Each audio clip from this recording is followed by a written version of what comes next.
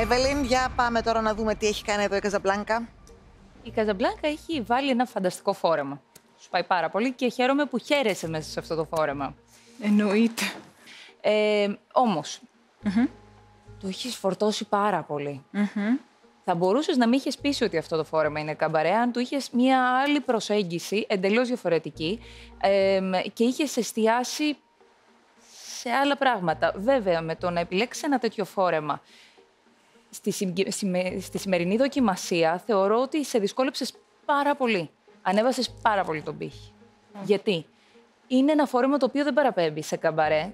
Πρέπει να το χτίσεις και να φανεί κάπως έτσι.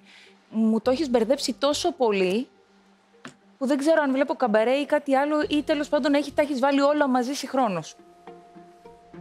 Δεν θεωρώ ότι ταιριάζει τίποτα με τίποτα. Δεν θέλω να βαθμολογήσω μόνο το φόρεμα. Είναι ωραίο το φόρεμα. Ένα. Οκ. Στέλιο. Ναι.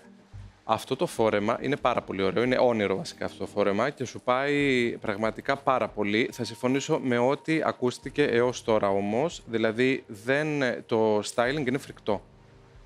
Αυτή η κορδέλα στα μαλλιά σου είναι ανεκδίκητη. Είναι, ε, ξέρεις, ε, σαν περιτύλιγμα χριστουγεννιάτικο φαίνεται και δεν έχει καμία σχέση ούτε με το φόρεμα που έχει ένα κλάς, ε, ούτε, ούτε και σου ταιριάζει. Δηλαδή δεν ταιριάζει με τα μαλλιά σου αυτή η κορδέλα καθόλου. Είναι ένα αψυχολόγητο πράγμα αυτή, έτσι όπως είναι τοποθετημένη. Οι, οι πέρλες αυτές είναι απλώς μια καταστασία ε, σε ένα φόρεμα που δεν μπορείς να του προσφέρεις καμία καταστασία γιατί ήδη έχει όλα αυτά τα κρόσια κάθετα, οριζόντια, με τα κάθετα κτλ. Δηλαδή θέλει ένα χειρισμό αυτό το φόρεμα. Είναι πραγματικά ε, αχταρμάς. Αυτή είναι η λέξη που, ε, που μπορώ να βάλω σαν τίτλο.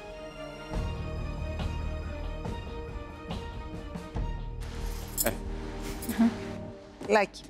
Υπάρχει το gold στοιχείο στο καμπαρέ, έχει γίνει στο παρελθόν και από μπαλέτε και από κόσμο και θεματικά golden καμπαρέ. Άρα λοιπόν θα έπρεπε να έχεις βρει στοιχεία. Ε, σε αυτό εδώ πηγαίνει τα golden φτερά, τα οποία στην εποχή τα κάνανε γιατί τώρα είναι ψεύτικα. Δεν επιτρέπεται λόγω της sustainability να χρησιμοποιούμε φτερά. Γι' αυτό δεν το είπαμε καθόλου πριν, παρόλο που είδαμε δύο-τρία φτεράκια. Ε, ώστε να εξουδετερωθεί το look από τις πέρλες που έτσι κι αλλιώς και μπες να ήταν το ρούχο σε σένα και μαύρο να ήταν αυτές οι πέρλες δεν θα πήγαιναν.